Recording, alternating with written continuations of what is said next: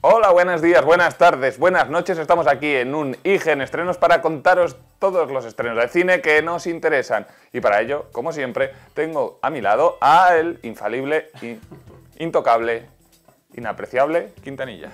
¿Qué tal, Juan? ¿Cómo estás? Muy, muy bien. Bueno, ha sido una semana grande de videojuegos, pero también sigue habiendo estrenos de cine y por ello venimos a hablar, bueno, básicamente hemos elegido tres pelis de una cartelera de esta semana un poquito de aquella manera. Un poco pocha, vamos a decir, por decir algo. A ver, las películas siguen saliendo, pero como sabéis, esta semana, eh, acontecimiento futbolístico por excelencia el Mundial, que parece que no, pero sí afecta. Afecta tanto a las distribuidoras que incluso Disney ha movido su estreno de Los Increíbles 2 al 3 de agosto porque coincide con el, estreno del Mundial, cosa que no ocurre en Estados Unidos, donde ya se puede ver el estreno. Entonces, bueno, pues las películas que llegan son muy variadas, un poco enfocadas al público que no le guste un poco el fútbol, digamos, señoras mediana edad, es el típico público que intentan dar esta semana y bueno, pues vamos a comentar tres títulos rápidos, si te parece. Sí, el primero de ellos tenéis la crítica en nuestra web, no es una crítica demasiado buena, es de No Dormirás, la que protagoniza Belén Rueda, no le ponemos gran nota, pero bueno, Alberto nos va a explicar por qué. Sí, bueno, yo cuento aquí un poquito, esta es la, el cartel principal de no, Dormirás, es un thriller psicológico, intenta ser un thriller psicológico, tiene a Belén Rueda y a Natalia de Molina, las dos actrices españolas como principal reclamo, pero en realidad la protagonista es eh, esta chica, Eva Dominici, que es la que mejor papel tiene y es la protagonista real. En realidad es una película eh, que coproduce España con Uruguay, la dirige Gustavo Hernández, que ya ha hecho dos pelis antiguas de terror, y en este caso eh, la película tiene el principal error de que intenta ser terror sin dar miedo, es decir, eh, lo más valorable de la película es su aura fotográfica, que es una fotografía oscura, azulada, donde nos meten en una mansión con un montón de personajes teatrales. Teatrales porque se habla de una obra de teatro que se va a representar, cuya actriz principal tiene que estar insomne, sin dormir. Por eso el título de No dormirás. ¿Por qué? Porque todo esto es un experimento social donde intentan ver que cuando una persona no duerme durante muchas horas, pues empieza a descubrir esencias especiales, etc. Entonces, bueno, la, la, trama es un poco extraña, un poco indefinible, pero bueno, es lo que mezcla es el concepto del insomnio con el raciocinio, ¿no? Y lo único que está ambientada en una cosa bastante loable también, en los años 70 y 80. Tiene dos planos temporales, el 74 y el 84.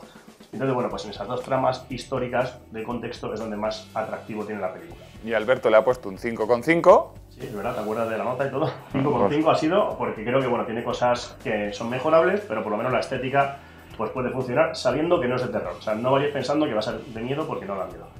Y después de esto, no me las he vendido mucho, vamos a hablar de otra película que tampoco pinta mucho mejor, por desgracia, que es la adaptación de un anime muy famoso, Tokyo Ghoul. Tokyo Ghoul, que bueno, en realidad, eh, para quien ya conoce el manga y el anime, o sea, y el, anime que se hizo hace años, Tokyo Ghoul eh, habla de estos seres que son mitad vampiros, mitad caníbales, son como híbridos eh, que tienen apariencia humana, lo cual es difícil de descubrir quién es, quién es eh, y quién no. Y este concepto japonés, pues eh, yo digo que es como un híbrido, intenta jugar con Tokyo Ghoul a una versión en live action del manga real. Entonces, bueno, pues lo que habíamos visto en la película de dibujos animados, que tiene bastante, bastante más coherencia, es sobrenatural. Entonces, en la película vemos a un chaval joven estudiando en el instituto, que al principio de la película ya vemos que es infectado, digamos, como Ghoul, pero tiene que ocultar, digamos, su eh, esencia dentro de este mundo de Tokio.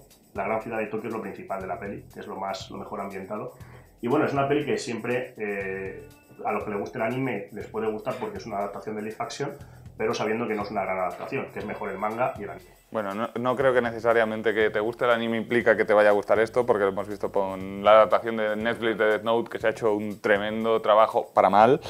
Eh, y con otras pelis como, yo que sé, Dragon Ball, o la que tú mismo citas en un magnífico reportaje que tenemos en la web, eh, Comando G, que también es bastante horrenda. Chamán, sí. Y bueno, también recordaje, por ejemplo, el, clásico ejemplo es Old Boy. Old Boy tuvo una versión coreana en 2003 bastante loable, que viene de un, de un manga original, y luego se hizo un remake con Josh Brolin y con Spike Lee en la dirección, que deja bastante que desear. Entonces, bueno, pues ahí está un poco la, diferencia. Tokyo Ghoul es para los fans del anime y del live action en realidad, con pocas expectativas. Vale. Y ya para cerrar... Terminamos con una película francesa, que bueno, ha sido como un bombazo, se llama Los 50 son los nuevos 30, aquí tienes el cartel, y es un bombazo eh, a nivel público femenino, porque ha tenido casi un millón de espectadores en Francia, bueno, más de 900.000 dicen, porque trata de una mujer que además es directora y actriz, Valérie Lemercier, que interpreta a una mujer de 50 años cuyo marido la abandona de repente y encima la pobre mujer se queda sin trabajo. con lo cual se queda sin dinero, tiene que volver con sus padres, y sus padres, que son estos dos personajes bastante curiosos, la tratan como si fuera una niña adolescente, y entonces, bueno, es una película sobre segundas oportunidades enfocada al público femenino de eso, de 50 años, para descubrir nuevas oportunidades, a pesar de que su marido la abandone, etc. Entonces, bueno, tiene un toque de humor eh, femenino sobre todo, porque habla eso de comedia, gags típicos de mediana edad, pero bueno, pues es una, digamos, un producto atractivo para quien eh, vaya contrariamente al... Ya sabéis, ya sabéis chicos que siempre, todas las semanas, Alberto Quintanilla nos intenta meter a capón una película que no es para nada IGN. Y este es el ejemplo. Y este es el ejemplo perfecto de esta semana. Porque no creo que muchas mujeres de 50 años estéis viendo este vídeo, más que nada. Así que... Quizá vuestras madres o vuestra tía sí. Mientras vosotros veis el Mundial. Puede estar pensado así también. O vosotras.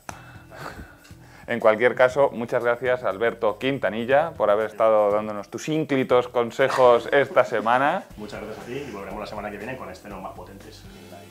O no. En cualquier caso, eso esperamos la semana que viene. Adiós.